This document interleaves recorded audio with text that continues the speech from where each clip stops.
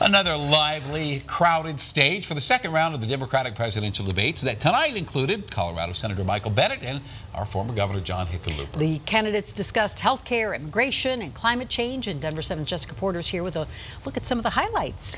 Yeah, well, tonight's debate definitely brought the drama. It had confrontations, emotion, and a whole lot of memorable moments. One surprise, former Vice President Joe Biden seemed to struggle to find his footing, while newer faces on the stage shined.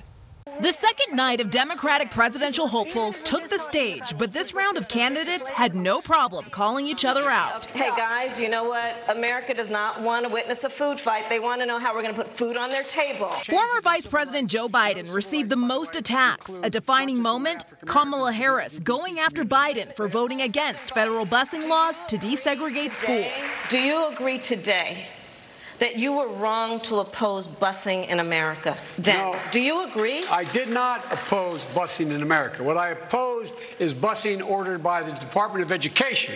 That's what I opposed. Well, I there was not a failure of, of states to, to integrate No, public schools in America. I was part of the second class to integrate Berkeley, California public schools almost two decades after Brown v. Board of Education. Because your city council made that decision. It was a so local that's where the federal government must step No, in. That's why we have the Voting Rights Act and the Civil.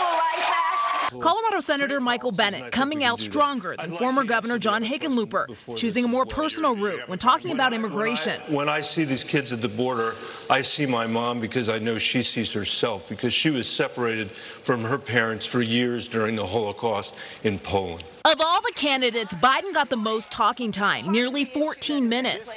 Bennet and Hickenlooper each had less than half of that.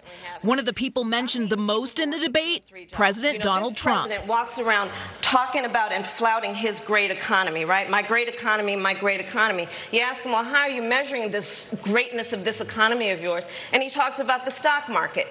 Well, that's fine if you own stocks. that Trump is a pathological liar and a racist, and that he lied to the American people during his campaign. Jessica Porter, Denver 7.